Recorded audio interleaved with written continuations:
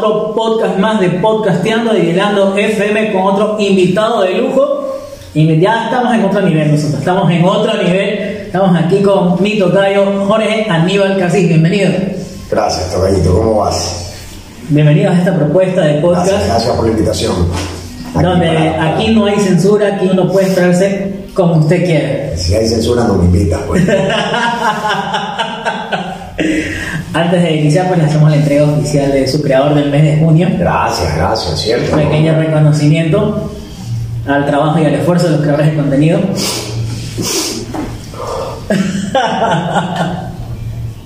Gracias. Pero bien, empezando ya con este podcast, ¿quién es Jorge Aníbal Casís? Está brother, eh, guayaquileño, 45 años, de corazón y sangre manavita al 100%, este, emprendedor, empresario, trabajador, padre, amigo, pana, este, no sé qué decir de un, un, ser humano muy corriente, nada, nada, nada especial, directo, frontal, sincero, sin filtros, este, puta con un, un millón de defectos, pero un millón y un virtudes, que son las que procuro siempre mantener a flote y pisoteando mis defectos. Eh, pero eso es lo que soy, o sea, la persona de carne y hueso muy corriente, ¿no? que sin querer queriendo se metió en este tema y se, y se hizo viral y se ha convertido en un influencer, como me llaman, y, y bueno, y que ya todo esto que era diversión se ha convertido en una responsabilidad y ahora. ¿Y cómo inició? ¿Cómo, cómo entraste a, a las redes sociales? Oye, pana, yo la verdad es que tenía un Instagram y por ahí una que otra foto posteaba, normal, 60 seguidores, o sea, nunca le paré bola a ese tema y Facebook y ponía fotos, lo típico, hermano. Y en la pandemia hablaban del TikTok y yo veía a mi hija que hacía bailes con, con, con, mi esposa y se ponían a hacer unos retos y no, no entendía, no, sabía qué estaban hablando. Y en un chat, una vez, en un chat de mi compañero de colegio, un pana pone, señores, ya no pude más, me acabo de crear una cuenta de TikTok. Entonces, como este pana lo pone, que es un gran amigo mío, puta, abrí una cuenta de TikTok, voy a ver qué es guapo, porque la verdad es que... Y abro esa cuenta de TikTok, me creo y todo lo demás, y empiezo pues a monear, ¿no? Y, y, y, a mi hija, digo, a ver, ¿qué es que se hace? Ay, cómo se utilizan los audios, y cómo coges un audio para hacer un video, entonces le empecé a hacer bromas a mis hijos, y mis hijos me hacían retos, y le empecé a hacer retos a mis hijos también, yo jodiendo, hermano. Y por un reto a mi hija, a mi segunda hija, me hice viral. Por un reto, por un reto tonto, hermano de cuántos likes, así, se, se, hizo viral y ahí empezó todo, y ahí, y ahí arrancó. ¿Cómo ha sido este viaje hasta ahora en redes sociales? No, buenísimo, bueno. He conocido a muchísima gente, he cambiado de pensar mucho. Este, el, el, el, la experiencia te hace comprender un montón de cosas que tú a veces no las entiendes, que después ya dices, no, pues tienen toda la razón. Este, entonces te da muchísimas perspectivas de qué es lo que está pasando y de qué es lo, que está pasando con los niños, más que nada con, con, con, los niños, con la juventud. ¿no? Y hablo de juventud hasta los 16 años. Este, y qué es lo que está sucediendo con la nueva generación que está dentro entre los 16 y 24 años y, y aún lo que posiblemente ocurre con la generación que llega hasta los 30 años, ¿no? Pero de ahí en adelante sí empieza a haber un cambio, pero ya lo empiezas a entender, ¿no? Y, y empiezas a abrir los ojos y dices, chuta, estamos en la verga, ¿no? Y, a, y, en esa situación, hago un paréntesis, en la mañana estuvo grabando conmigo el abogado Jaime Salazar, uh -huh. Creador de contenido, y, y, dijo que lo hiciera públicamente y luego público quiere hacerle un reto a usted. Me encantado. De que él come más ágil que usted. Puede ser.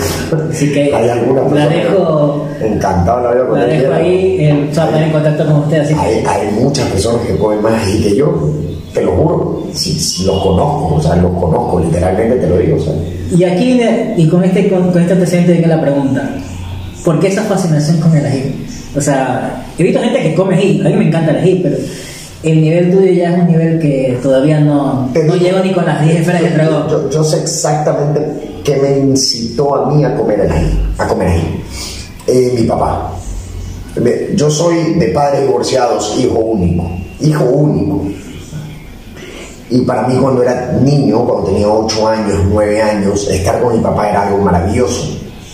Este, porque como no vivía con él, cuando él me iba a ver y me llevaba a algún lado, yo me quería ganar el cariño de mi papá. El niño, el típico niño que piensa que el papá ya no, o sea, no lo quiere lo suficiente o, o, que el papá es como que si el papá lo va a ver, se muere por irse en ese momento y por estar la mayoría del tiempo y agradarle a su padre. Porque, porque es un pensamiento de niño, un pensamiento tonto, inocente, ¿no? No, no, no tiene raciocinio, no tiene argumentación, no tiene nada. Y yo veía que mi papá comía mucho ají, mi papá come mucho ají. Le encantaba ponerle ají a todo. Decía, qué rico el ajicito. Entonces yo como que, puta, quería parecerme a mi papá. Entonces, Ah. y, empecé, y a veces me picaba, me picaba mi papá, pero póngale poquito, que siga yo todo por imitar a mi papá. Eso, eso me hizo, y, me- y le, cogí, le cogí gusto al, al ají, o sea, me- le cogí gusto a, a comer con ají.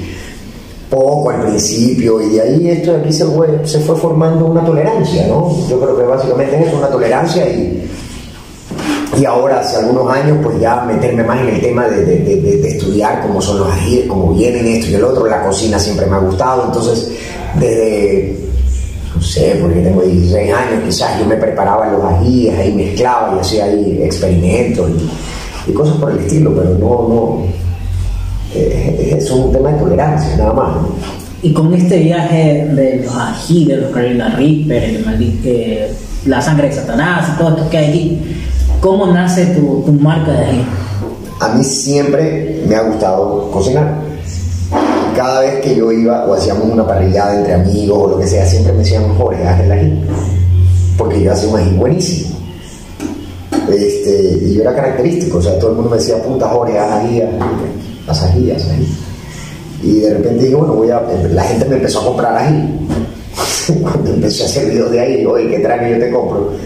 Les traía, los vendía. Pero dije, ¿por qué traerme ají de afuera si yo puedo preparar el mío que, que es bueno? Y, y me inventé la marca y ya. Así. Pero es un tema de hobby esto, no, no, ¿Pensaste tener la aceptación que tiene tus tres clases ají? Creo que es el, ma- el- Eh, No, mira, tienen, tienen una aceptación bien limitada porque es un nicho muy pequeño, porque es un ají, es un producto muy caro.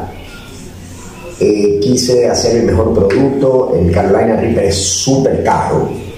Eh, me dicen que ahora están sembrando aquí, ají escorpión, y, y lo tiene don Joaquín y me doy cuenta que ok, ya puedo acceder a un ají mucho más barato, porque mi ají es caro. El problema de mi ají es lo caro, por el producto que usa, porque lo importo y porque tiene grandes cantidades de, de- de maracuyá, de limón, hay producto que, que- que no es tan barato para hacer un frasco ahí.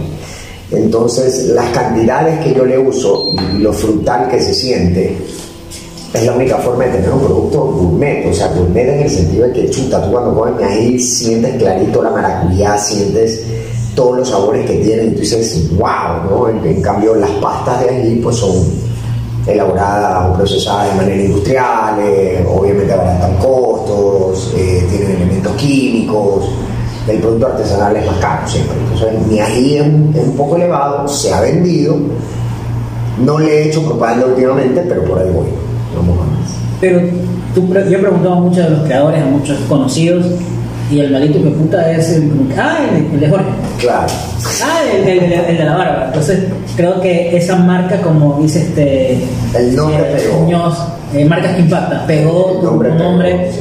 eh, la trayectoria, o el- porque sin, sin querer creer, un, hubo un estudio de mercado con marketing y publicidad, con- haciendo la prueba del ají, los retos del ají, hasta que introduciste Claro, tengo, sí tengo pensado industrializarlo, no yo, sino que lo quiero hacer a través de la fábrica de Don Joaquín, por ejemplo. ¿no? Yo tengo el producto, le quiero dar las recetas y que ellos me lo produzcan y ver cuánto puedo abaratar costos. Porque ellos tienen el, el expertise. Entonces, e- efectivamente quiero hacerlo, ¿no? pero, pero eso ya, eso es poco a poco, porque no me puedo meter en, que mucho abarca poco aprieta, entonces no puedo meterme en tantas cosas a la vez. Pero sí es algo que quiero hacer, que ya he conversado con el dueño de Don Joaquín. ¿Te ves, ves, ves a tu relación. marca No. en todos los.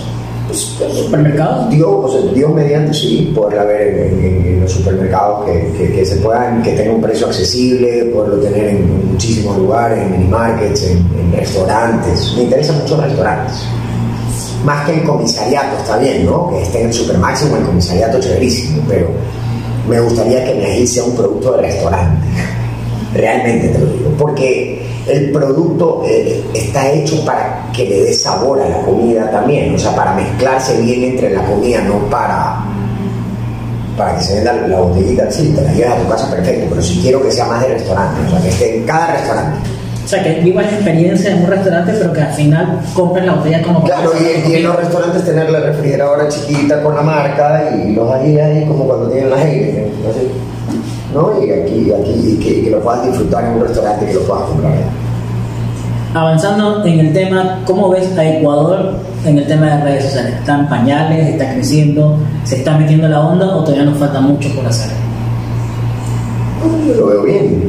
Yo, yo estoy seguro de que toda la, toda la problemática que sucede en Ecuador sucede en todos los países. La envidia, el coraje, la huevada, todo esto. Eh, esto del... yo, creo que todos los países han de manejar el mismo ritmo, y el, el mismo tema. Las redes sociales de Ecuador sí tiene que crecer en el sentido en que, en que, la- en que las empresas, en que las mismas redes nos tomen más en cuenta. Por ejemplo, que aquí, aquí no monetiza TikTok, en otros países sí monetiza TikTok, que aquí no... Las verificaciones son más difíciles, son más complicadas, que, o sea, es- ese tipo de temas de que no lo toman muy en cuenta, Ecuador, ¿no? Pero de ahí, o sea, yo, yo admiro muchísimo a, la gente que hace contenido, que se pone a hacer, me río, gozo, disfruto. Este, y, y una, y, una, y un nombre clave en Ecuador en cuestión de redes sociales se llama Enchufe TV. Ese es nuestro embajador. Eso es la, la viva prueba de que se puede. Esos manes a mí literalmente me hacen cagar de risa, ¿no? O sea, literal. ¿Has pensado en una colaboración con ellos más adelante? Mira, te lo juro que no para. Eso es lo que yo tengo que vivir a diario. ¿Has Una colaboración con ellos? puta con Chume sería increíble. A mí sería un honor, a mí que me contacten con su puta, hagamos algo, yo encantado la vida, todo lo que sea, increíble. Me parecen. No, no, no, no, no me. ver, la actuación es buena, pero sabes que el guion, el contenido, la producción, cómo lo hacen, los soniditos, lo, es efectivo. Pero me hacen cagar de risa, ¿no? me hacen cagar de risa literal que, que, que me encanta el tema de, de todo cómo lo hacen. eh, es, la producción en general y el guion me parece fabuloso. Fabuloso. Mucha de la gente eh, en la comunidad, eh, hablo de, de los consumidores, más no los que crean contenido, llegan a tener un apego contigo con tus likes. Porque expresas ese malestar que mucha la gente no lo expresa por el miedo al que dirá. ¿Tú qué opinas de todo esto? De que Yo eh, he podido conversar con mucha gente y, y casualidad he visto un TikTok tuyo. Ah, yo he visto, yo veo los likes, yo tengo TikTok para ver los likes de cuando comienza a hablar de política, de emprendimiento, de cosas así. Porque expresas el, el- el sentimiento del ciudadano a pie. Viene la pregunta, ¿qué se siente eh, tener la, eh, responsabilidad de, de ser la voz de los que no tienen voz? Porque tienes una comunidad de seguidores, tienes tus seguidores y todo, pero aprovecha tus seguidores para meter también tus criterios y poner tu punto de vista en la situación del país. Sí, a ver, me- me- a mí me, me- yo le doy, yo estoy agradecidísimo con las personas que me siguen y que por ahí me andan comentando, oye, Aníbal, haces alcalde, haces presidente, y les doy las gracias. Es un tema que no voy a hacer. Este, porque wow, como que me toman en cuenta para algo tan grande, no digo, "Oh, chica, gracias, ¿no? O, o- o me siento honrado, pero no. La responsabilidad de yo ser la voz no, no, no la tengo. No, no, yo no creo que cargue con esa responsabilidad. Esa responsabilidad debería de cargar un, un- un activista importante que, que realmente ya tenga esa visión o tenga esos, esas metas, ¿no? Eso, digo yo, ¿no? Esa visión de ser la responsabilidad o ser la voz de los que no tienen voz. Yo no me considero una persona con esa responsabilidad. Realmente te lo digo, no creo que me la haya cargado yo.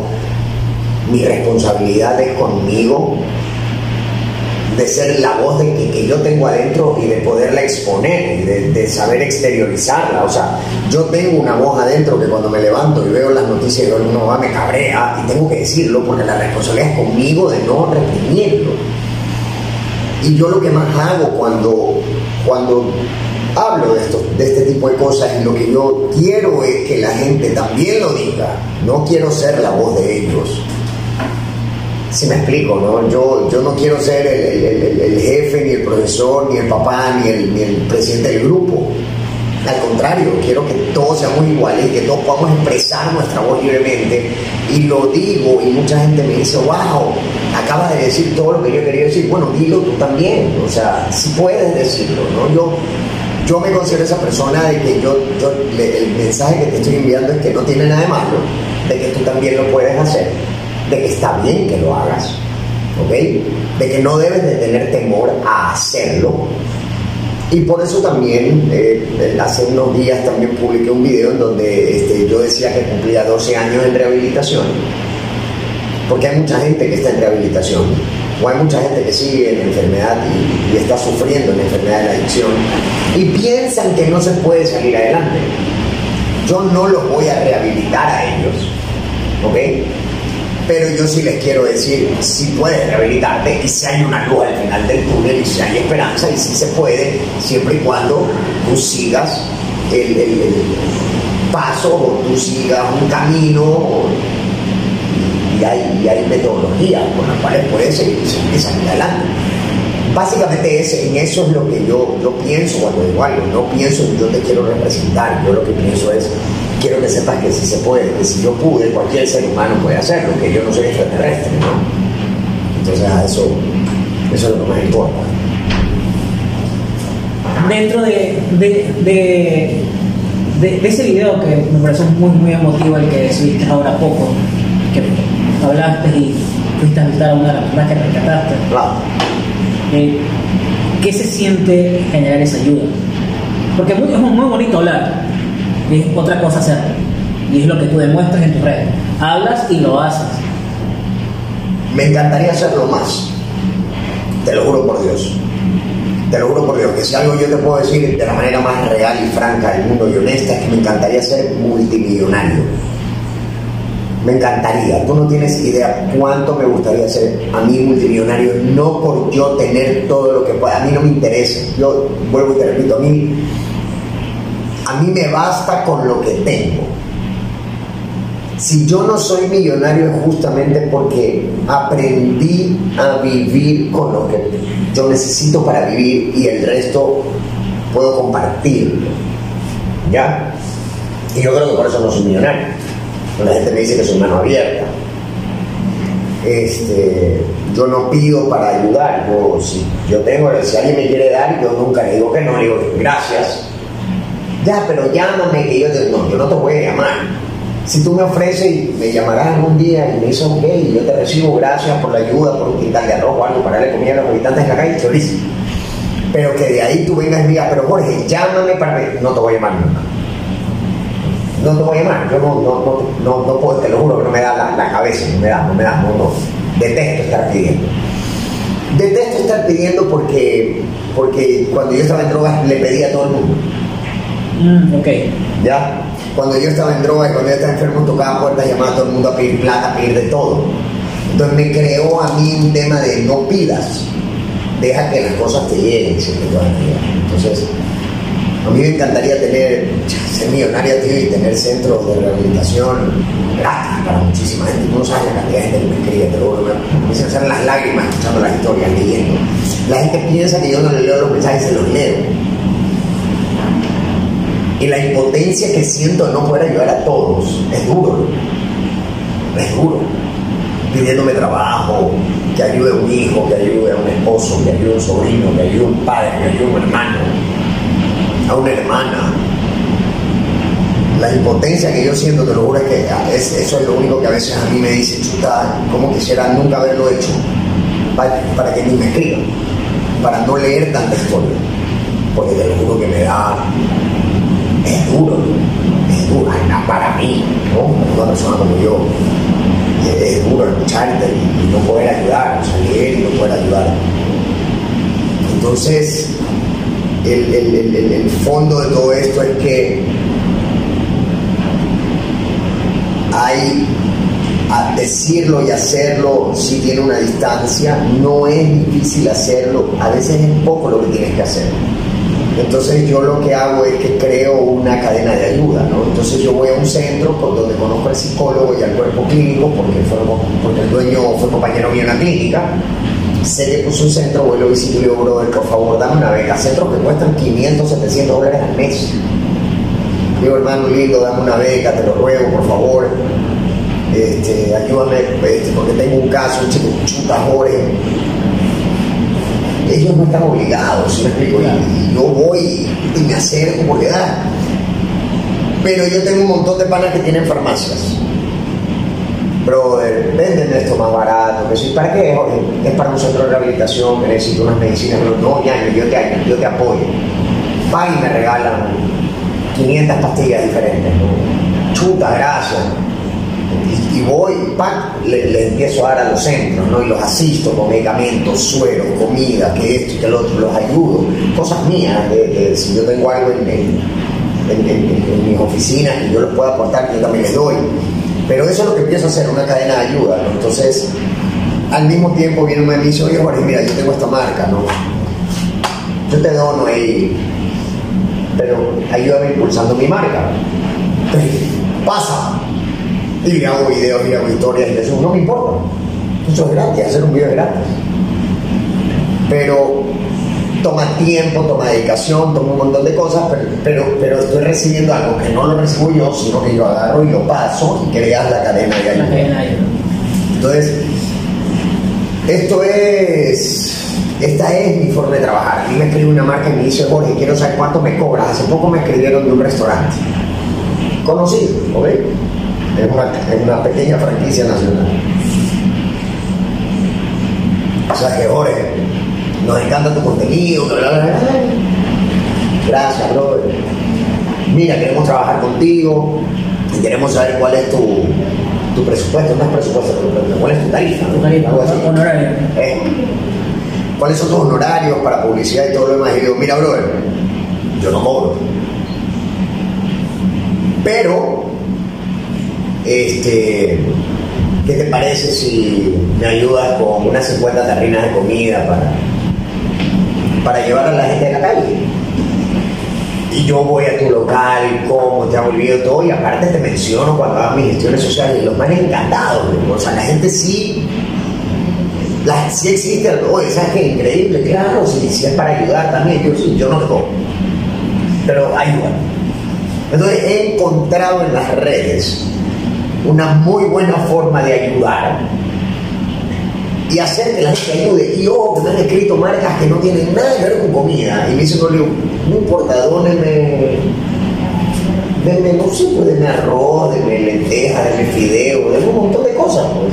Y yo les hago la, la publicidad. esa. Me dicen, pero ahora te damos la plata y tú lo compras. Le digo, no. Quiero que ustedes se tomen la molestia. Mira, esto fue una conversación. ¿Cuándo llegamos a Tosagua, brother? Pues, El jueves antes de carnaval. El jueves antes de carnaval llegamos a Tosagua y me llamaron de una marca. No voy a decir nada por si acaso me llamen otra vez. Pero me llamaron de una marca unos artículos, loco, que no tienen nada que ver con, con, con comida ni nada, ¿no? Ahora es como ¿sabes qué, qué les parece esto? ¿Pero ¿y cuánto nos cobras? Yo le digo, yo no sé cuántos videos querían, entonces me dijeron, ¿qué te parece? Creo que me dijeron dos videos tres videos. Y le dije, ya, pues mira, hagamos una cosa. Dame 250 dólares en comida. No sé, ¿por qué será? Tres quintales de arroz ya son 90 y pico dólares, 100 dólares. Dame un, un saco de lentejas, un saco de fideo, todo eso. Porque yo hago de acopio en mi casa. Mi casa la tengo como centro de acopio. Por eso te cambiaste. Sí. Este, y yo con eso le doy a la, a la gente de la calle, con eso cocinamos, ¿no? Ah, ya, pero entonces, pero ¿y por qué no te damos la plata? No, no, no, no, no, no. Vayan a comprar la comida, pongan de su parte. Siéntanse bien, hijo de puta, de que están haciendo algo por ayudar al prójimo. No solamente girando un cheque, tómense la molestia, porque tal vez no te la tomas tú, tal vez le van a decir al mensajero, bro. Pero tómense la molestia de averiguar dónde comprar el saco de, de fideo, el saco de lentejas, los tres quintales de arroz. Tómense la molestia, padre. Vayan a hacerlo. Que una ayuda no se trata solo de girar un cheque, sino eso, eso es muy sencillo para mucha. Pero tómense la molestia y yo les hago los videos. Ya, entonces lo tomaron súper bien, me dijeron, ya, ¿sabes qué increíble? No me han vuelto a llamar. Déjame consultarlo. Después otra marca, una marca de supermercados. Jorge, queremos cinco reels. Y es que nos encanta porque tú eres la persona. Es en un supermercado, tengo una orden de consumo. Denme el producto para regalarlo ahorita. Y en efectivo, cuando digo, no, chacha, no quiero. Sí, la gente a veces me dice, pero qué bruto, si con el efectivo puedes comprar, sí, pero yo quiero también meterle en la conciencia a la gente yo estoy seguro que se puede hacer cambio, loco. Yo estoy seguro que las personas sí pueden agarrar ¿sabes qué? Dale, dale, dale producto. Está bien lo que le está pidiendo, o sea, si me vas a pagar 500 latas, loco, 300 dólares, 100 dólares, no me interesa. Dame el producto. Me estás hasta ganando porque me estás dando un producto caro al que tú le estás sacando ya una rentabilidad, o sea, igual me, me vas a terminar pagando menos lo que realmente me estás pagando si yo te pido Claro. Entonces, eh, eh, eh, a eso quiero llegar, ¿no? El, el, el tema es, poder crear una cadena de y que la gente sí le importe, ¿no? Siento que el ecuatoriano sí, sí ayuda, pero con tanto ¿qué se le podría decir? Con tanto intermediarios eh, que han cobrado mal de una u otra manera en su momento, le quita ese, como que ese recelo de ayudar. Y es por eso que yo te digo, no me des la plata, dame el producto. Porque puta, yo vivo solo, yo no me voy a tragar tres quintales de arroz, pues hermano. Pero sí me puedo comer la plata. Claro. Entonces, efectivamente por eso que, por ejemplo, cuando van los voluntarios a mi casa a cocinar los miércoles, a ver, yo les pongo en el chat, los tengo todos En mi casa está, en mi casa tengo ta, ta, ta, ta, suficiente para tanto. Yo llevo esto, yo llevo Jorge, pásenme una cuenta. No. No, loco, no. Y ya saben, entonces hay personas que a veces no pueden ir chuta y no puedo ir, pero tengo aquí una funda de papa. Entonces viene el otro y dice, yo la paso viendo por tu casa porque yo sí voy. Entonces, esta funda de papa mandó tal persona, allá, esto aquí era, y cocinamos y lo hacemos todo. Y hay productos que se quedan en mi casa y van la siguiente semana y sigue ahí. Jorge, pero en tu casa quedó esto. Y digo, sí, efectivamente que está. Es claro eso. Es, es clarísimo. Entonces, matamos el recelo, matamos el conflicto de intereses, hermano. Obviamente por eso Obvia y justamente por eso que yo digo, la gente a veces no quiere ayudar porque le da recelo el intermediario que si come la, la, plata o la típica fundación a la que tú le vas donando, pero, esas donaciones también para los sueldos un montón de putas, en cambio acá llegan a sueldo, somos un grupo voluntario civil normal que va y entrega comida. Normal, hermano. Clarísimo todo. Mi casa, baño, estoy ahí, ya que si que no, ya puta, me, me estreso, veo tanta gente en la cocina, se ponen a cocinar y todo, pero de ahí salimos a entregar. Eso es lo que se hace. Entonces, sí hay personas que si quieren ayudar, tengo muchísimas personas que están en ese grupo que hay un man que es atunero, bro. O sea, y Jorge, ya te mando dos cajas de atún, gracias, bro. Yo, pero ya. Las envía y si llegaron y, y, y, hermano creo que hicimos, como ya hicimos como cuatro veces atún, ya se acabaron, ¿no? Las cajitas, pero, pero ahí estaban, atunes. Y ellos iban y veían que estaban ahí las atunes. Y en mi despensa, en mi cocina, hay otro atún. Porque igual puta ni le compro el mismo atún. Porque no quiero el conflicto de intereses. Porque sabes qué, puede pensar mal la gente y es más fácil. Eso es una que las cuentas claras, amistades eternas, ¿no? Exactamente. Entonces, a eso.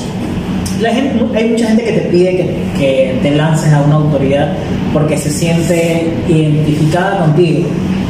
En su momento lo hiciste, Sí, lo hice. A ver, eso yo ya era una idea que ya tenía desde, hace, desde, chiquito. He querido ser, este, mi, mi, familia ha sido política. Mi abuelo de parte madre fue diputado, murió siendo presidente de la Corte Superior de Justicia. Mi abuelo de parte padre fue superintendente de bancos, o perdón, superintendente de compañías. Tuvo buenas posiciones. Mis tíos, un tío mío fue alcalde, otro tío mío fue presidente de la Corte, ministro, juez. Tengo un tío actualmente que es juez. Eh, he vivido, de, mi tía abuela es alcaldesa actualmente en Tosagua, fue diputada también muchos años, es familia política, ¿no? Que, ha pertenecido a la política, una política anterior a la actual obviamente y que gracias a Dios no hay una mancha sobre, sobre los apellidos de mi familia, ¿no? O sea, no hay una mancha políticamente hablando, gracias a Dios, nuevamente una política bien, ¿no? Pero hoy en día sería bonito y yo me, yo me, yo me lanzara, te lo digo, fuera de broma, tocayo. Yo me lanzara si yo viese en la sociedad, en la gente, en lo que escucho, en lo que yo capto, que realmente el país quiere un cambio. Pero el país no lo quiere, brother. Te lo juro que no lo quiere, no le interesa, brother. No, es que no le interesa no le interesa. No le interesa. No, es mentira. No están cansados, no están, todavía no están cansados. No, han tocado fondo. todavía no han tocado fondo. Es como cuando yo me drogaba y no tocaba fondo suficiente como para decir hasta aquí. Ya todavía le falta. A la gente todavía le falta. No quieren, no quieren cambiar, no quieren un cambio. Si tú me preguntas a mí, hay ciudades que te lo juro que yo a veces me quiero sentar en una vereda y llorar al verlas y decir, no puede ser puta, pero la gente que vive en esa ciudad no quiere cambiar, quiere seguir así, ellos se sienten bien, ellos están felices. Aunque por afuera te digan, no, que hasta cuándo este de que sí, que los mismos de siempre. Hermano, se vuelven a lanzar. Y los vuelven a votar. Y vuelven a votar por O sea, el país no quiere cambiar. Te voy a decir por qué no quiere cambiar. Porque vienen los comentarios más típicos, ¿no? Es que ya tiene que venir alguien nuevo, no los mismos de siempre. Eso ya es la primera. Ya tú sabes que esa frase es famosísima. Ya los mismos de siempre, perfecto. No quieren a los mismos de siempre, quieren a alguien nuevo. Entonces de repente aparece Juan Pérez, tipo que viene haciendo gestión social durante dos años, tres años, cuatro años, que es empresario, que pues empleado de una empresa, o tiene empresa con, con, la familia, o no sé, pues ganadero, mira lo que te dé la gana, ¿no? O sea, cualquier, cualquier empresa normal, ¿no? Y que ayuda, ayuda, y cuando yo digo que ayuda, igual, que, que lo haga de su bolsillo, ¿no? No, no que tenga no que tenga una cadena de bancos a nivel mundial y que tenga una fundación para exhortarse impuestos de afuera, porque todos saben por qué es una fundación y digan, uy, que a, través de su fundación, la verdad, eso no ayuda, pero bueno algo bueno hace. Pero bueno, y que venga una persona y que se ayuda y de repente dice, qué buena persona que es ese man. Y viene y por desgracia se lanza. ¿Sabes lo que dice la gente? No te imaginas lo que la gente va a decir. ¿Y ese quién es? ¿De dónde salió? No, lo conocen. Puede ser conocido. Va a robar. Puede ser. Uh, ya no es igual. Ya se lanzó a la política, ya la cagaste ya no te creo nada. Es verdad, es verdad. Sucede. Entonces mi pregunta es, ¿de qué cambio están hablando, poco? Si cuando viene alguien bueno que valga la pena y se quiera lanzar algo, lo satanizan y lo hacen ver. Entonces eso me dice a mí que el país está feliz y está contento y todavía no toca fondo y va a seguir votando por los mismos de siempre, porque si viene uno nuevo, ese hijo puta lo que quiere es robar, ese puta se lanzó a la política, ya va con la huevada, está haciendo campaña. Ahí lo damos. Entonces, claro, a mí me dicen, Jorge, pero tú serías yo. Sí, no, quizás, puede ser. Quizás sí, quizás no. Pero no están preparados. Sería chocarte. No, pues no están preparados No están, todavía no, todavía no les todavía no los han lastimado lo suficiente. Parece No puede ser posible que la gente de Durán siga votando por los social cristianos de Durán. O por alguien de Correa en Durán. Me corto la derecha, me la vuelo a que en las próximas elecciones gana o un social cristiano o uno de Correa. Con el pacto que acaban de hacer. Hermano, la derecha me la vuelo, me la vuelo y en Durán ganan, hijo puta.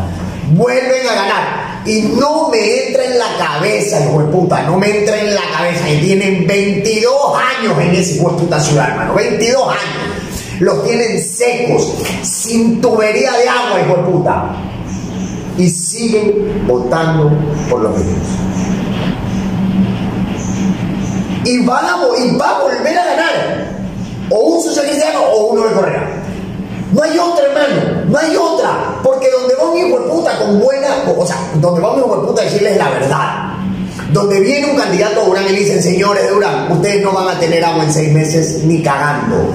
Señores Durán, entiendan una huevada, en un año tampoco va a tener agua todo Durán.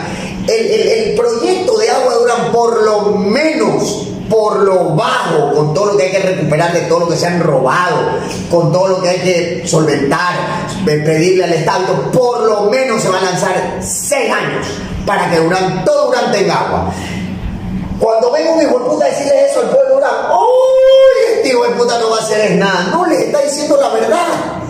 ¿Sabes lo que Durán, lo que le gusta? ¡Señores, lo van en seis meses! Ahí está. Pero si no hay ni siquiera empezado, ya tiene tres años. No ha empezado. Ni siquiera tienen la solución. No, no, no, no, no tenía el proyecto, tiene ese. Y ya tiene tres años. Y si ese puta se pudiera volver a lanzar. No me pregunte cuál es este hijo de puta síndrome de Estocolmo que tiene la gente. Vuelve a ganar. Vuelve a ganar. Bahía de Caracas. Hermano, la primera ciudad del Ecuador que yo ya vi cuatro candidatos en cartel, así grandotes. Gilce 2023, Mendoza 2023, Vicecuanto 2023, la que es actualmente alcaldesa 2023. Un grupo de jóvenes me contacta y yo conversaba con ellos y digo que no hay ningún otro puta, porque todos estos ya fueron alcaldes. Sí, es que no hay más. Pero ¿y por qué? No, porque no. Ya le vale. Ya le vale. No han hecho nada con Bahía de Caracas. Nada. Es una ciudad fantasma. Es una ciudad fantasma y hay una pelea por la alcaldía. ¿Y por qué la alcaldesa no se la que dice que no hay plata? ¿Para qué chucha quieren sacar?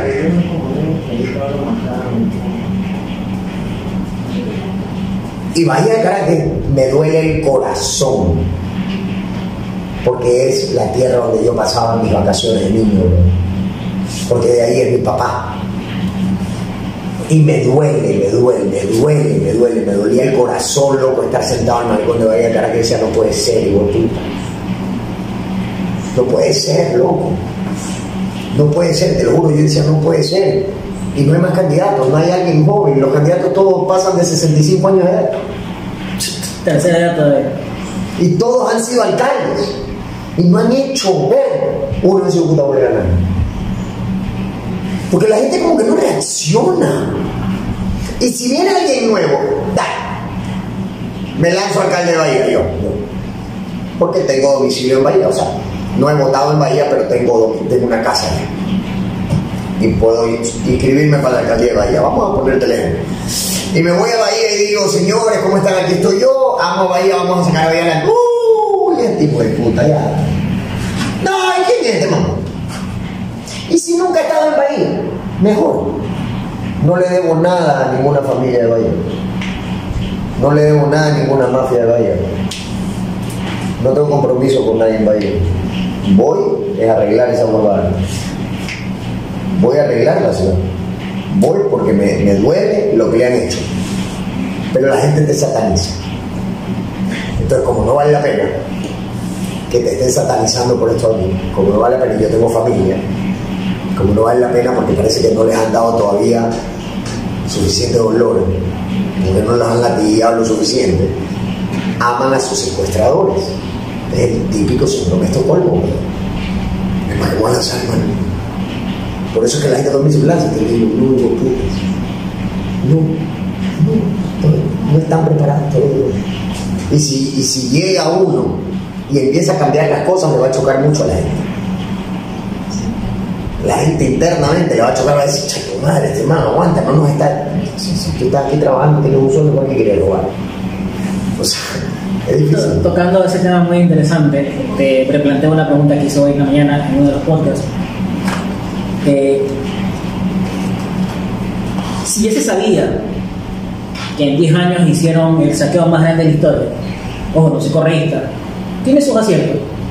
Y vino otro gobierno que fue por parte del primero, que dijo, esto ha sido una mentira, vamos a solucionar. No lo hicieron.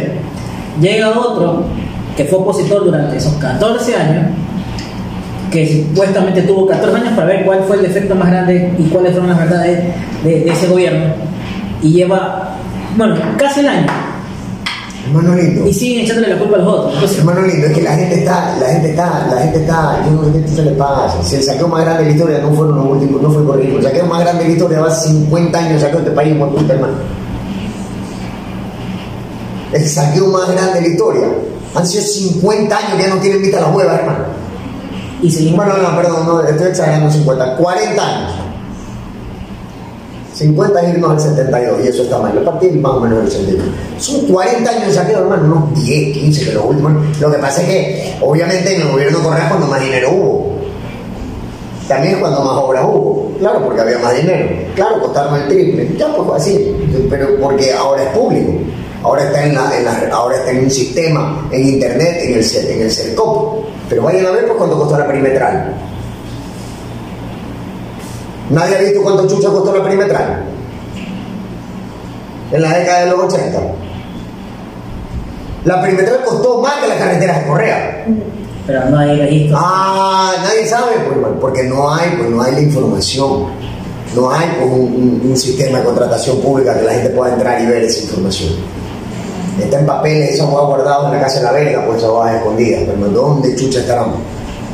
No son 10, 15 años de saqueo, hermano. Son 40. La gente eh, tiene un problema, están em- embobados con que socialista, izquierdista, clasista, derechista, socialista, izquierdista, clasista, derechista, váyanse a la verga, están locos. Están con esa huevada nos tienen embobados desde arriba, todos hueputas. Y todos se toman el whisky en Zoom, uno en Bélgica, uno en su caleta, el otro en otra caleta en la isla, y están así, hueputa, con whisky. Oye, que son los hueputas, tomanes. Sí, sí, viste que se están peleando los izquierdistas. Sí, oye, sí, compañero. Bueno, la que le hiciste, sí, sigue haciendo eso, vamos cagando hierba en la asamblea para ver cómo hacemos para que se sigan peleando, cosa que creamos la guerra. Claro que sí, yo les dije desde un principio que esa era la solución. Así están esos hueputas, cagándose de risa de todos nosotros. Y nosotros como pendejos, aquí, no, que reíste, izquierda hueputa, chuche tu madre. ¿De qué estás hablando, hermano? Primero socialismo, no izquierda. O sea, perdón. Todos socialistas izquierdistas, pero no todos izquierdistas socialistas. Empecemos por ahí, porque no es lo mismo. No, eh, hay, hay, hay, personas de derecha libertarias, ahora la, la puta famosa neoliberal, neoliberal, el que no o sea, neoliberal, el nuevo liberal, no, no me pregunte qué chucha, ahí lo vi en Wikipedia el otro día, en una serie de huevadas que para mí están hablando de vergas también. Hermano lindo, la única persona, lo único que deberíamos contar aquí es quién es demócrata y quién no es demócrata, hermano. Eso es lo que deberíamos pelear, la democracia versus el comunismo. Nada más, bro. Nada, nada más, bro. Democracia versus comunismo. Tú eres demócrata, sí, puede ser de izquierda o derecha, pero eres demócrata. Y la gente no entiende esa parte. Que existe la izquierda demócrata y existe el derecha demócrata. ¿por, qué, por, qué, se tienen que ir a la misma huevada? Que nos están incitando a hacerlo, hermano. Yo por eso no les paro bola, toca la que los critico a todos, Porque ya me di cuenta, pues. Yo fui drogadito, pues ñaño, yo también manipulaba. Yo sé lo que me quieren vender, pero ya no me lo van a vender. Yo ya me drogué bastante. Hasta ahí me drogué. Yo dije que nunca más me iba a drogar. Y drogar no solamente consumir este, base de cocaína o H o esta vena, drogarse también consumir estupidez, pues yo ya dejé de consumir.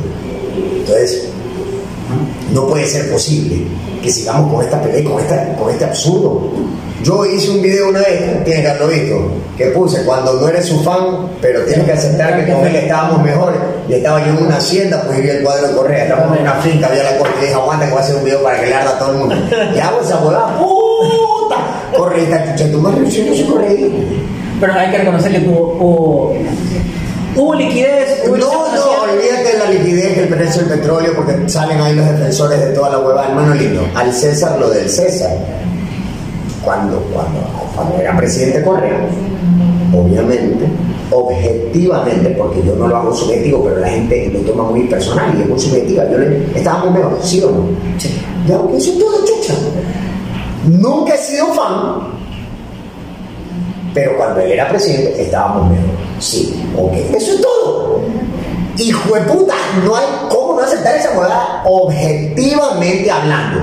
Subjetivamente sí estábamos en la verga porque el resentimiento que él nos dejó fue muy fuerte. El resentimiento que le dejó a la gente, al, pueblo, al pobre, resentidos que ahora están bravos, si, si, si, si, si yo tengo este encendedor, están bravos. Viste, flaco puta, niñado, pelucón de verga con su chucha, ñaño. Yo trabajo para comprarme esta huevada, además, vaya a trabajar usted también, no, que como la verga. Hermano, ¿por qué te pones bravo si si hay manera de salir adelante? Ese resentimiento es una huevada que yo jamás perdonaría, por ejemplo, de- del correo. Pero al César lo del César. Así como León Flores Cordero arregló el municipio de Guayaquil, que era un cagadero, un meadero, un lugar de drogadicción, de todo, Rafael Correa nos arregló el registro civil, que era un meadero, cagadero, puteadero, para drogarse, todo el mundo en el. Que dice, el que no se acuerda está loco. Al César lo del César. Y ahí, ahí, ahí te quiero hacer una pregunta. Yo también tengo mis años, eres un poquito, un poco mayor que yo, pero en el tema de seguridad, no sé si, te- si ellos habían pactado, tenían sus convenios, no me interesa, pero nos sentíamos como un poco más seguros de lo que estamos ahora. Menos inseguro es la verdad. Ah, menos inseguros. Sí, lo que pasa- Ahorita también da ganas de salir. o sea. Yo, no, la delincuencia existe en Guayaquil al menos desde hace muchísimo tiempo. A mí, a mí me quisieron asaltar en el 2011, que Correa era presidente y me, me apuntaron un arma en el carro, mi esposa, mis hijos y yo en el carro. Nadie. Ahora hace dos meses me quisieron asaltar, me apuntaron también. Lo que no se veía era tanto sicariato que esa muerte violenta del sicariato sí, para mí es obra de narcotráfico, microtráfico y control de esta huevada. No quiero entrar en detalle de la tabla de consumo, porque la tabla de consumo, y los expertos lo dicen y lo he conversado con mucha gente, pero la tabla de consumo no es que sea... La tabla de consumo la pusieron con un fin y tiene un fondo que es correcto. Sin embargo, es como que yo te dé este encendedor y no te dé la benzina ni la mecha. ¿De qué te sirve el encendedor? De nada. De verga, ¿no?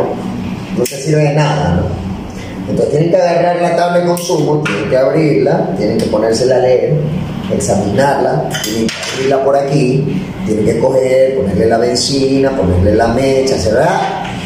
Acomodarla otra vez, y ya una vez que ya la tengan acomodada, ahora sí, puta, va a prender. ¿Qué es lo que no hacen? La tabla de consumo está hecha para que el enfermo adicto no vaya a prisión, sino que se rehabilite. ¿Cuántos centros de rehabilitación tiene el Estado? Cuatro a nivel nacional. ¿Cuánto, ¿Cuánta es la población? De- de- y yo sé porque tú lo sabes. ¿Cuántos adictos por centro? Eh, el más grande tiene 60 y el más pequeño tiene 15. Ok, entonces medianos media de tienen 30, 4, ponle 100 pacientes. ¿Qué chucha hace con 100 hijo puta pacientes de rehabilitación cuando tienes 2 millones de ecuatorianos drogándose? Y todos los días suman, hijo puta, ya son niños de 12, 14 años y todo lo demás. No haces nada, hermano.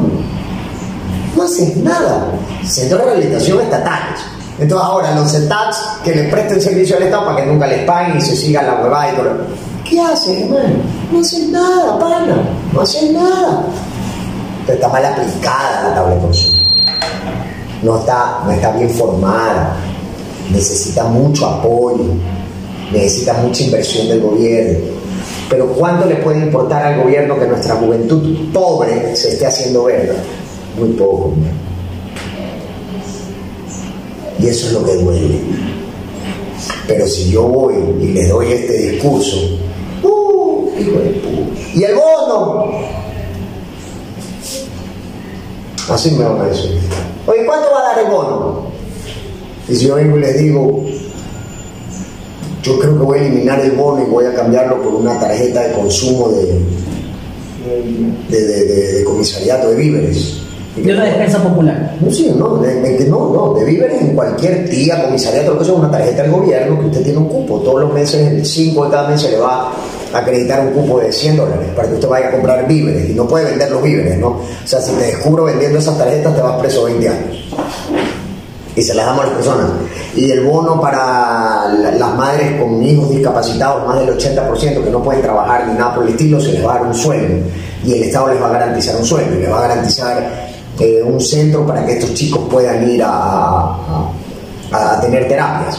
Y, para la tercera edad también se les va a garantizar este, un- una, una- una especie de jubilación estatal. Pero, pero, oiga, señor, pero yo soy pobre y tengo siete hijos y yo también quiero el bono. Pero, pero señora, o sea, le puedo dar una tarjeta por cada hijo que usted tiene, tanto en la tarjeta, pero yo plata no le voy a dar. Yo digo, esa abogada, a mí me queman, pues, una puta, me, me pagan por la Juana de Arco, me ponen a mí, pues, y me empiezan a quemar los pies. No están listos, hermano. O sea, No si viene un, un buquete ecuatoriano no está listo, le puede pagar. No está, li- no está listo, no está listo, no está listo. Si yo le. Cuando tú vas a una campaña, ya, si tú vas a una campaña, el, el, por decirte el tema, y preguntan, todo bien lo que dice, ¿de dónde sacas el presupuesto? El presupuesto está aquí en el país, Fabricio, sino que se lo están robando con el 30% de coimas.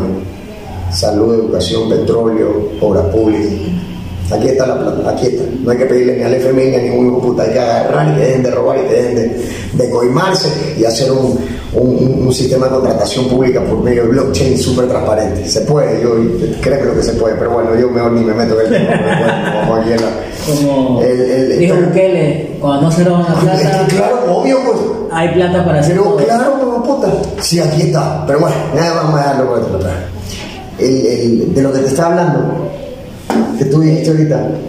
Seguridad, estamos hablando de. Sí, no, ahorita que. Del bono, estamos hablando del bono. del- sí, el, el- el que tú decías que un, un, un Nayib Bukele no está preparado. No, no estamos preparados. No estamos preparando. Si yo en campaña, tú vas y, y- y vas caminando y vas saludando a la gente y la gente viene y te dice, este, y mi camiseta, y mi camiseta.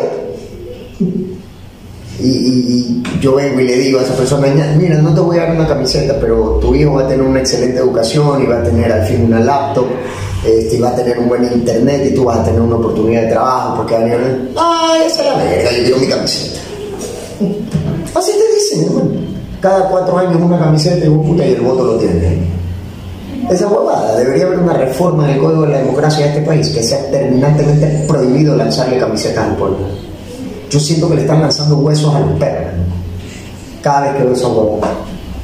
Y yo, cuando fui candidato, y aquí hay gente que estuvo conmigo y que no me dejan mentir, cuando decían jóvenes camisetas, no voy a regalar una puta camiseta.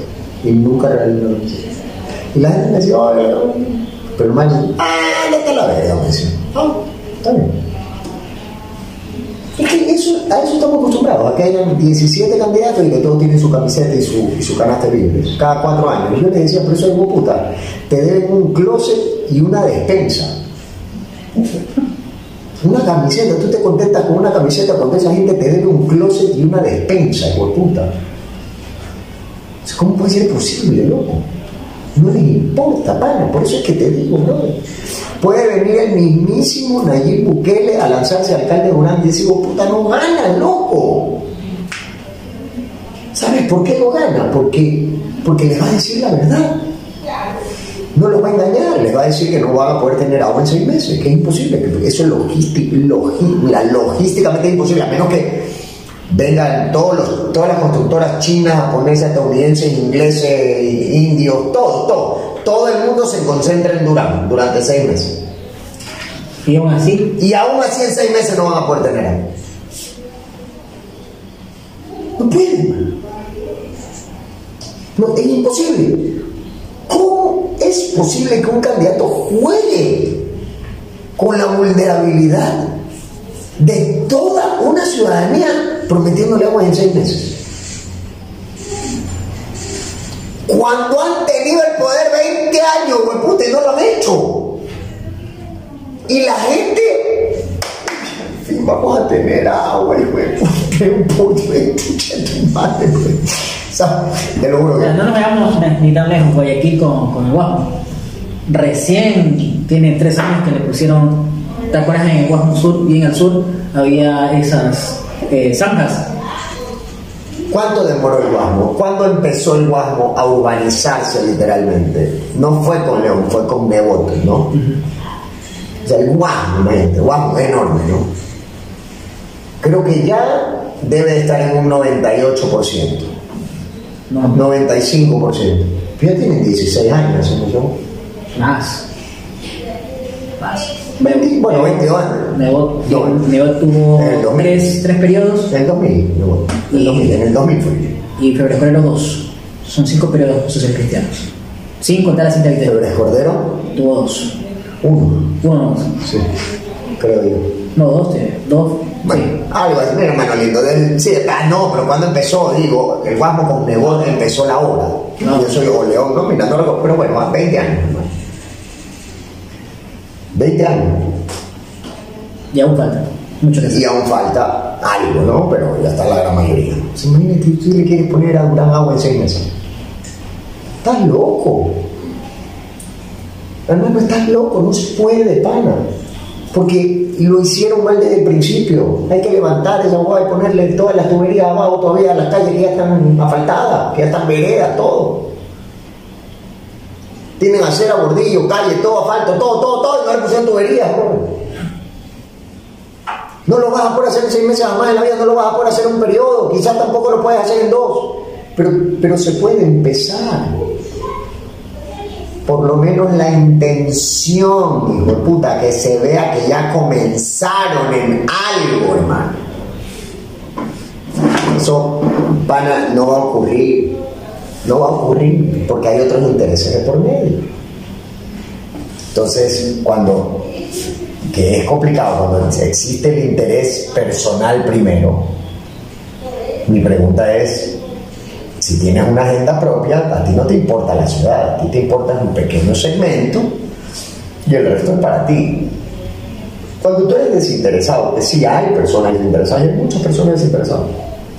Hay muchos candidatos que se van a oír en estas nuevas seccionales que yo conozco, pero la gente los sataniza, loco están acostumbradas ya a los mismos de siempre y cuando te dicen queremos queremos cambiar queremos cambiar y que, que ya no vengan los mismos de siempre pero cuando no vienen los mismos de siempre ustedes lo hacen verga y les dicen hay que quiere robar ahí viene un nuevo ladrón entonces qué es lo que dice el pueblo más vale el ladrón conocido que el ladrón por conocer así dicen ellos pienso yo por eso es que no se puede.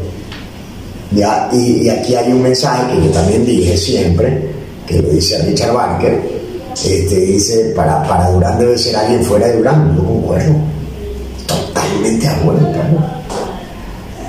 Durán va a cambiar cuando su alcalde sea fuereño, Y ve desde afuera las necesidades.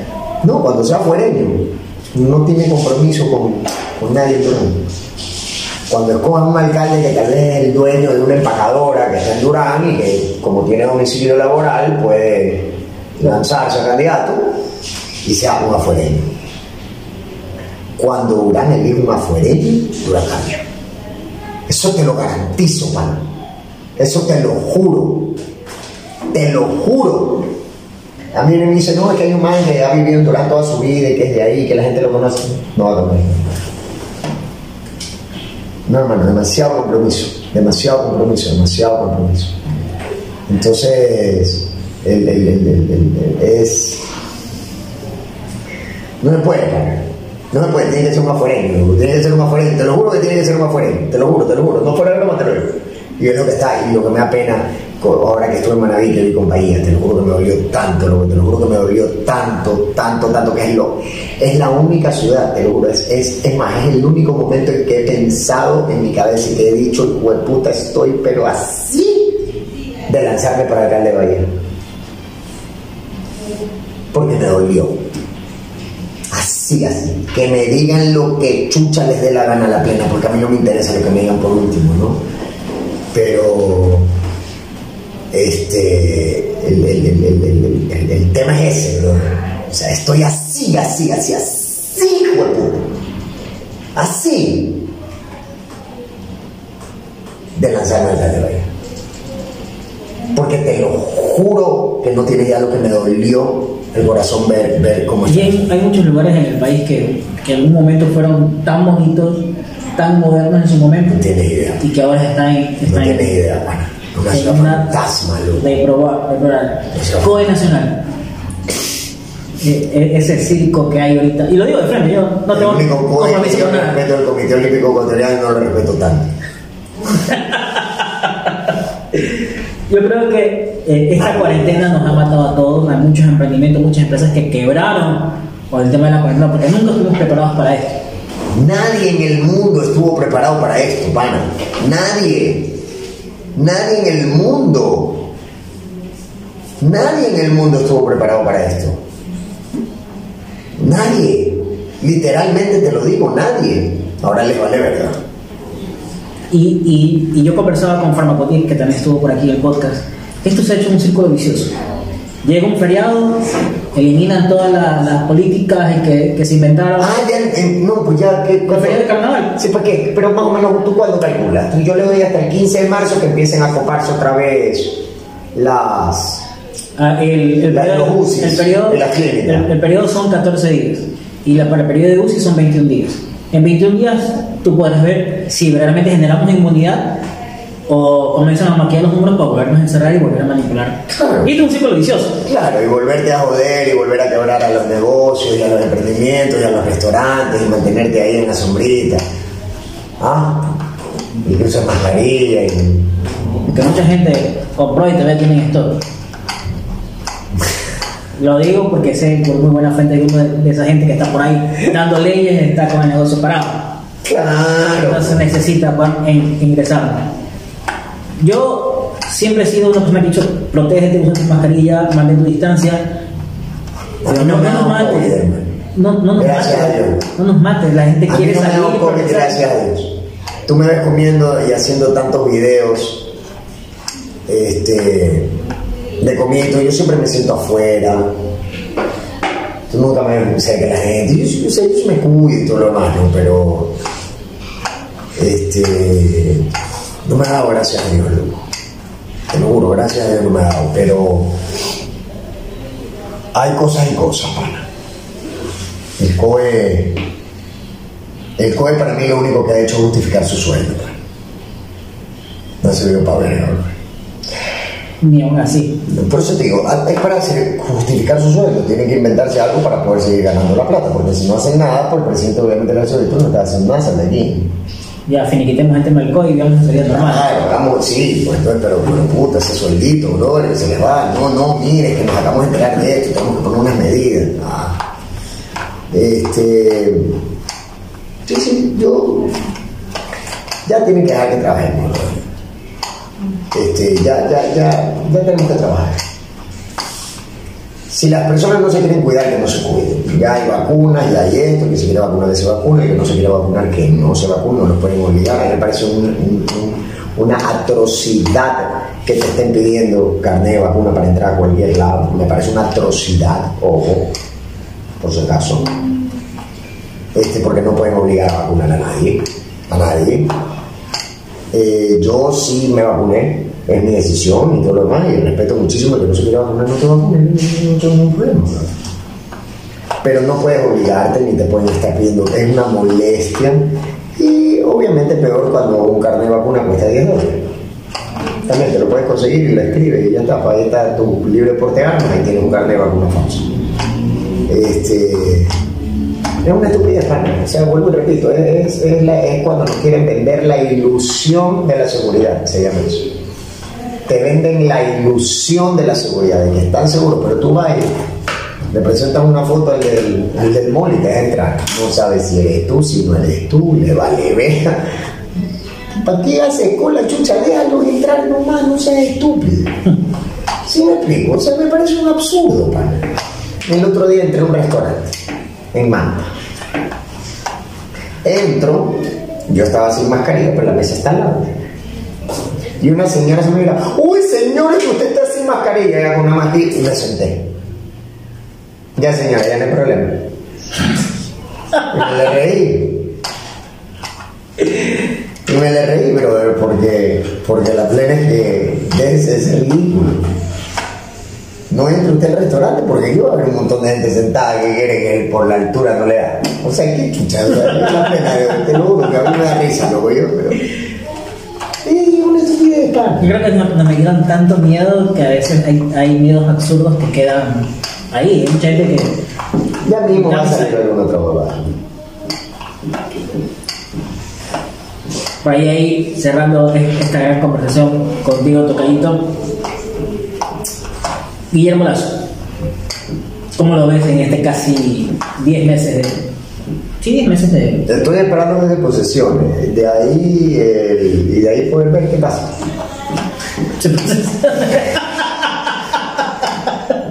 Apenas se posesione, eh, veamos qué tal trabaja. Me bugué por un ratito. Espero que hayas entendido. Ay, Dios mío. ¿Qué, ¿Qué opinión tienes sobre los repatriados de Ucrania acá? ¿Se demoraron mucho?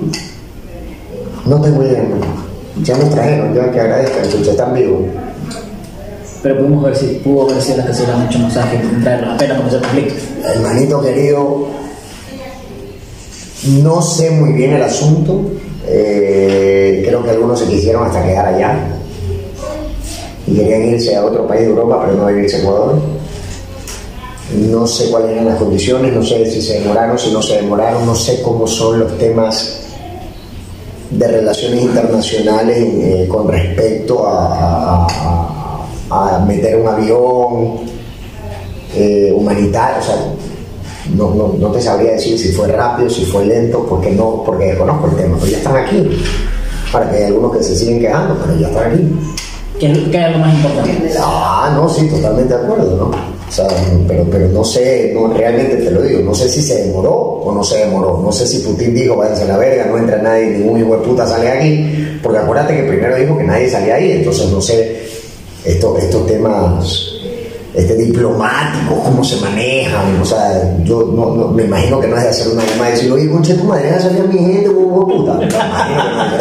Si fuera así, yo lo saco al día siguiente. Pero yo me imagino que tiene que tener su trámite, pero bueno, lo sacaron, que es lo importante, y están aquí y están bien, y otros se quedaron. Eh, si a mí me preguntas de la Cancillería, a mí lo único que me ha causado vergüenza es que es la primera vez que yo veo una Cancillería que te dice, bueno amigo, hemos ayudado a 200 ecuatorianos que están felices con su visa a España para que se vayan a trabajar. Esa abogada, esa cuando yo la vi, te lo juro que me, sentí tan mal, porque yo nunca había, no, no puede ser que celebren, que le estés dando, que le estés ayudando a conseguir visa a un, a un patriota, a un compatriota, para que se vaya a trabajar afuera, cuando lo que deberías hacer es que se quede aquí trabajando, porque tú le estás dando supuestamente plazas de, trabajo y hemos ganado 350 mil plazas de trabajo, que es lo que dice cada rato. Este, y, ¿Dónde? No sé. con las 25 latas de sueldo y toda la verga. Este, entonces, pero, pero de repente la Cancillería ahora está ayudando a conseguir visa a España para que se vayan. Yo no sé qué, qué fijación tienen con España, también hay alguna huevada ahí, ¿no? Pero bueno, en, en- en- en el- aquí es raro, me parece burlesco.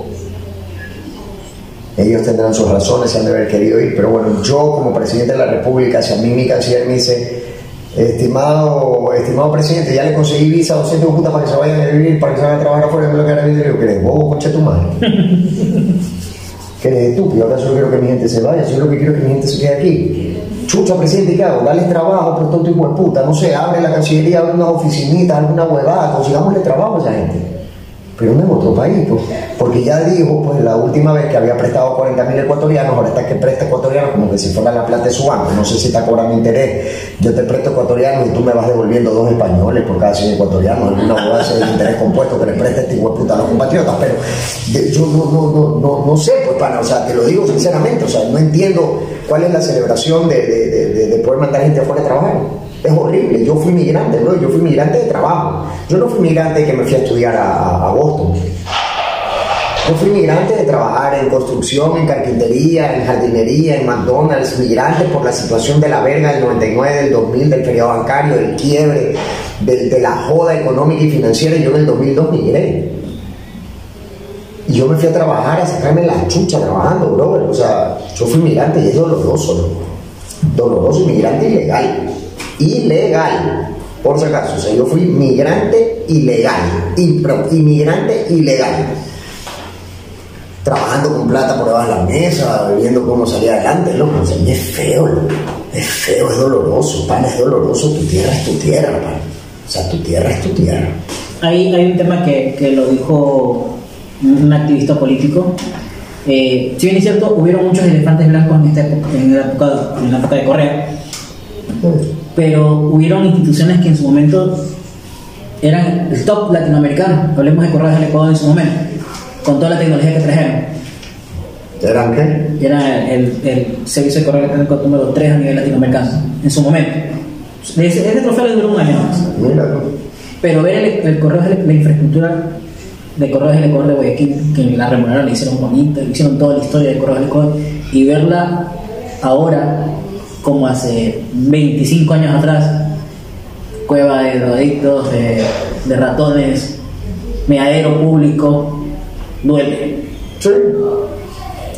¿Qué, qué opinión tienes de, de esas obras o de esos trabajos que se perdieron? Porque al final de cuentas son plazas de trabajo que se perdieron. El gobierno actual dice, sí, hemos dado 350 mil plazas de empleo. Yo sigo viendo, sigo viendo a la gente en la calle buscando trabajo. Eh,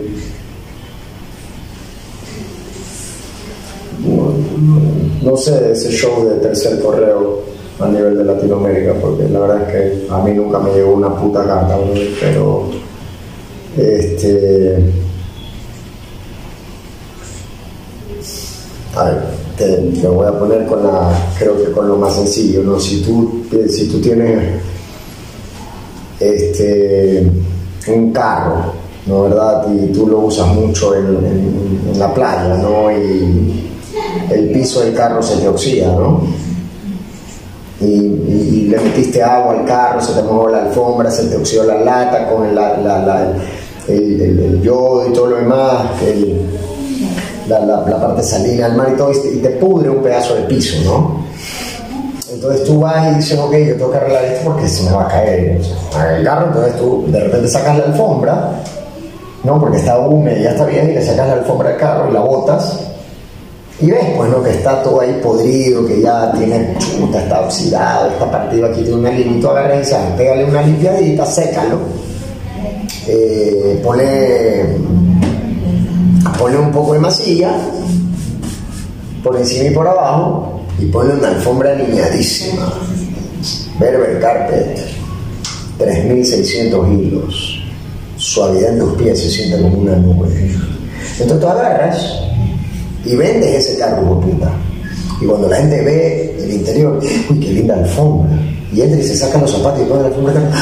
Ay, entonces se siente como el cielo. Es obra de Jorge Casís. ¿Ah? Me dieron un carro en la verga, ¿eh? ¡Ah! ¡Ah! Esa es la obra de Jorge Casís. El tercer mejor carro de Latinoamérica en alfombrado. Buena puta. Pero esa mierda que está debajo de la alfombra, que tú solo la masillaste, que no arreglaste el óxido, se va a terminar comiéndose así. Se va a seguir pudriendo. Y el día de mañana se va a hacer un hueco, se va a caer ese pedazo de chucuputa y se va a caer la alfombra también y se va a hacer verga se te van a hacer verga los pies, se te va a hacer verga tú y te va a hacer verga tú. Entonces eso fue lo que pasaba para mí, con muchísimas instituciones. Y una de estas de Correo del Ecuador, si tú no sacas la puri, tú no cortas ese pedazo de lata, lo botas a la basura y sueltas otro pedazo de lata, ya con las partes nuevas. Y ojo, cuando tú cortas el pedazo oxidado, van a salpicar partes buenas que las vas a tener que cortar, obviamente, para que asegurarte de que no haya nada podrido cerca. ¿Sí? Mano, así pasa. Pero ese podrido se fue. Te va a costar más. Se va a demorar más el arreglo. Pero ya no se te va a caer la alfombra. Ya no le tienes que poner alfombra de 3600 hilos. Le puedes poner una de 1400, no importa, te va a durar más. Que te va a costar menos. ¿Ya? Entonces, Para mí eso es, ¿no? Y eso es lo que para mí quieren hacer en este momento también el gobierno actual. Le tiran la, la, la, la, la, la, la, la- la frutilla encima de él, después te tienes un país en la mierda y le echas crema de chantilly encima y le pones una estrella, una, una frutillita y te vas al chino y dices, mire, vean qué bonito, vean qué lindo, vean que esta huevada. Entonces, eso es lo que están mostrando, ¿no? Pero, vuelvo y repito, panalito, eh, yo escuché un comentario de un pana en, en Facebook, ¿no? tienen como que una tarea de devaluar el país para poderlo vender lo más barato posible. Y por eso evalúan Banco del Pacífico, evalúan CNL, evalúan CNT, evalúan todo. Están como que en, una carrera por devaluar lo que más puedan para venderlo, ¿no? Y esa huevada, güey, bro. Esa huevada a mí me quema, ¿no? Pero donde yo, güey, me paro en una tarima y les encamo huevada, bro. La gente igual va a votar por el otro. Porque a veces no, este flaco puta lo que quiere es robar. No. Entonces, entonces ya, ya la plena y por aquí, por aquí. ¿Para qué desgastarse? Sí, pues para qué desgastarse, papi. Yo creo que la gente no, no está preparada, bro. La gente no está preparada. Ese ya es un tema para, un- Eh. para una siguiente conversación. No, no sería por una comidita. Ya para ir entrando a la última parte de este podcast, vas a pasar por aquí por el tour gastronómico. Te voy a poner dos opciones y vas a elegir, ¿no? Dale. En el desayuno tenemos un tigrillo con quesito, chicharrón, versus un bolón mixto con huevitos, salpreta y juguito de bistec. Es lo mismo, básicamente. Cualquiera no da igual, la verdad. ¿Cuál escoges? Pero, pero el bolón, pero tú me hablas de tigrillo de saruma. Yo prefiero, el, porque el tigrillo es de saruma, el perico es de manaví. Entonces me voy con el bolón para que no quede, para que no quede duda. No que Claro. Vamos a la media mañana y tenemos una humita con su cafecito Mm. versus una empanadita de verde y su café. Hmm. Hmm, Interesante, ¿no? ¿De qué es la empanadita de verde? Eh, de carne. Me voy con la empanadita de verde. De verde. De, de carne sí. Vamos a, a la hora del almuerzo y tenemos caldo de bola versus caldo de pata. No caldo de bola. Caldo de bola. Largo. Eh, fritada, de segundo, fritada versus eh, yapingacho. Ya pegacho. Yapingacho. Sí. Nos vamos a la media tarde y tenemos salchipapa o papipollo. Chico de puta, brother. Ninguna de las dos. Salchipapa. Salchipapa. Sí, no, o sea, no soy comedor de papas fritas, o sea, de, de salchipapa ni de pavipollo. Nos vamos a la merienda y tenemos arroz con menestra y costillas. ¿Cuál es tu proteína, tu proteína fa- favorita? El pollo. Arroz con menestra de la nana, o sea, mene- menestra amarilla, Ah. con su pollito asado a la plancha, y versus eh, moro risotto con chuleta. Y una ensalada. No, yo el moro risotto. Moro. Definitivamente, sí. El moro chicloso, así. Chicloso. No, sí, por puta me puede. Sí. Rico. Puta. Eh, pecado nocturno. Alitas y un baby rack. Baby rack. Baby rack. Sí, no como mucha alita tampoco. No soy tan fan de las alitas. Chuta. No, no soy tan fan de las alitas. Me como una o dos, pero no soy fan de las alitas. Sí, son ricas, todo. No soy fan de las alitas. Este, y sí, o sea, prefiero. mi- mis pecados nocturnos son sándwiches. Es más, ramen. ¿El ramen? Sí, el ramen, como, como pecado nocturno, eso, lonchis. Los lunch. No, mi. Eh, bueno, eh, tú no tomas, ¿no? No, Así que no. esa- saltamos ese. Baileys. esa- Solo Baileys. esa- Baileys. Eh, vamos a hacer un, un pequeñito cazar, matar o besar con, Sí, pues, puta. Ya. pero con actrices ecuatorianas. Ya, no, yo no conozco a nadie. No, son las más reconocidas, las más reconocidas, las más mainstream, así por Ah, esas son las que menos conozco, dale. Erika Vélez, ¿Ya? eh, Giovanna Andrade, es la que Yo los ojos negros, la de Cholito, ¿no? No. Eh, Una foto, ¿eh? En las flores. Deja ver una foto, ¿eh? Aquí, Giovanna Andrade. Giovanna Andrade, el equipo de de producción de Jorge, enviaron una fotito bien chévere. Ya, Erika, Giovanna. de Van Andrade y eh, Marian Zárate en su mejor momento. Déjame, préstame, préstame, por favor.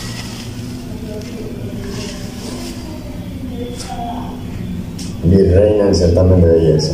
Ella es Giovanna. Sí, Giovanna Andrade. ¿Y ahí qué tengo que hacer? Matar, besar y casarme. Exactamente. Este, por favor, señora, Yo la mato. esto solamente es dinámica. Yo, se yo, ponga yo, yo- y- y- pero igual razón, yo la mato, María. Porque yo creo que nos volvemos locos si ella no me mata a mí primero. Así que, este.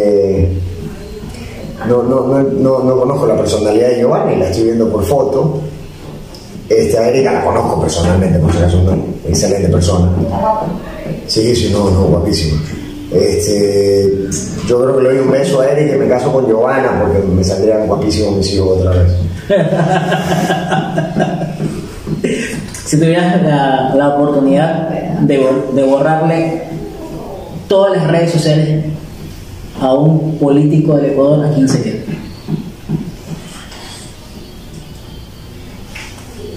Chuch. Solo uno nomás. Toda la largada había Vicencio. Hay licencia. Sí, ¿Por qué? porque me cae re contra que veas. Porque es igualito, es igualito, es igualito al que lo persiguieron, man. El man es perseguidor igualito. El man dice, ustedes me persiguieron y por eso les voy a hacer lo imposible. O sea, tiene el mismo complejo, loco. Tienen que dejar ir ya esa huevada y trabajar por el país y no trabajar por lo personal. Tiene una agenda personal tan obvia y él mismo lo dijo. Ustedes me persiguieron, ustedes me hicieron la vida imposible y ahora yo se la voy a hacer imposible ustedes. No, ese no, para eso no lo eligieron, no lo eligieron.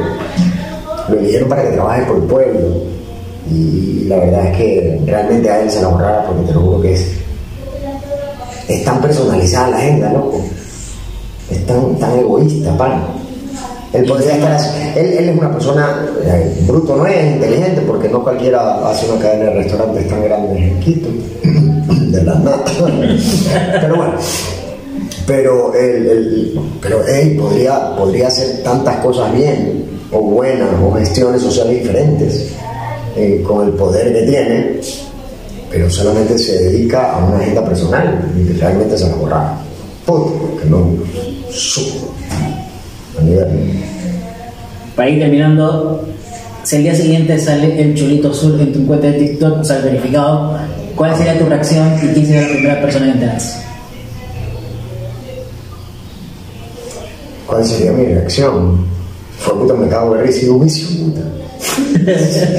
este, yo creo que mis hijos y, mi- y- y- y mis amigos que me acompañan siempre, Sara, Henry, Sol, serían los primeros en enterarse siempre, porque estamos, siempre hacemos contenido juntos. ¿no?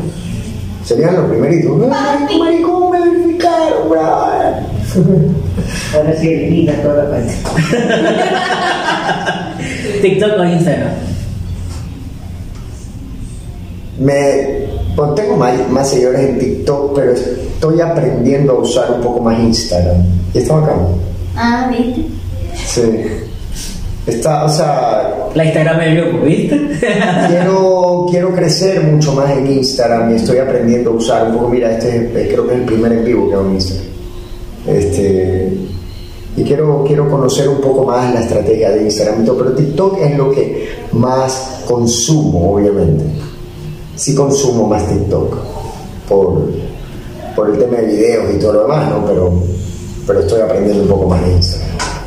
Un mensaje, consejo que le quieras a nuestros seguidores, tus seguidores que van a ver más adelante ya producido. Vivan y dejen vivir, sigan principios y no personas, dejen de ser borregos de todo hijo de puta, piensen por ustedes mismos y déjense de preguntar huevadas.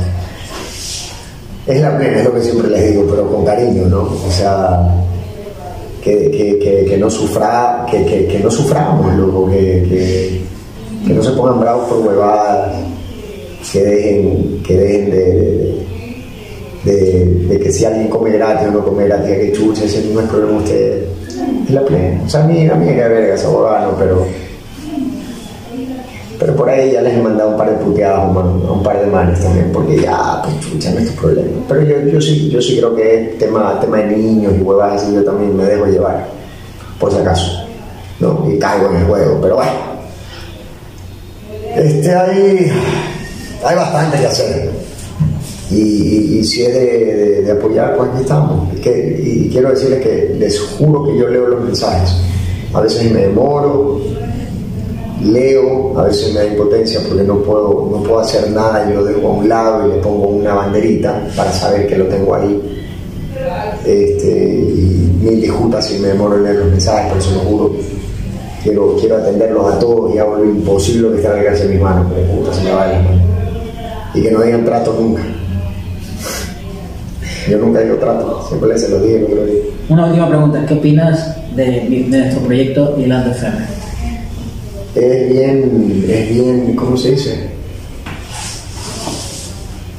Es muy audaz, es bien, ah, es bien ambicioso, ¿Ya? me gusta la ambición que tiene atrás de todo esto. Eh, nuevamente, todavía estamos en, en un tema que como que no quieren creer en las redes sociales, ¿no? En, que, es la televisión del presente, ¿no? Pero bueno, es muy audaz, es muy ambicioso, me gusta. Yo le, y el otro día conversaba con Sara y con Henry y con mi sol, ¿te acuerdas? Y yo le dije, es súper ambicioso. Me decían, pero ¿por qué? Yo, porque yo, yo hubiera, en mi pensamiento también, yo ¿por qué, por, qué, ¿por qué lo hizo así? Yo lo hubiese hecho más pequeño, lo hubiese hecho así, pero puta, se fue una con todo, wow, o sea, es súper ambicioso quizás quizás así es como debe ser, ¿no? No sé yo, yo te digo una cosa, pero, pero es súper ambicioso y es bueno, no digo que no. Pero es, como cuando tú me preguntaste lo de agente, o sea, mañana quiero estar en el comisariato. No, despacito, ¿no? primero lo vengo por Instagram. Pero, pero, nuevamente, no es lo principal que yo hago, esto sí es lo principal que tú haces. Entonces, claro, tú tienes más tiempo de dedicarte y puedes ser más ambicioso en el proyecto. Yo generalmente me lleno de proyectos pequeños, menos ambiciosos, y, voy viendo cuál me despunta y a ese le meto como que un latigazo para correr. Entonces, vamos a ver. Es como el mío Huecas del Loco, que ya salió, la aplicación móvil y que ya está funcionando y que ahorita tengo los restaurantes así en para irlos a visitar. Es buenísimo. Gracias, Tocayito. Chicos, muchísimas gracias por, por estar aquí en este podcasteando. A Henry, a Misol, a Sarita que están atrás de la pantalla. Ya tuvieron cada uno su, su, su momento. Recordarles que nos pueden seguir en todas las redes sociales, estamos como Milán FM. Aquí abajo en la descripción van a estar los links de todas las redes sociales de cada uno de ellos. Y recuerden que Vilando se entiende a la gente que este es un podcast que aquí no hay censura, donde te puedes expresar, podemos tocar todos los temas con una tranquilidad, sin censura previa.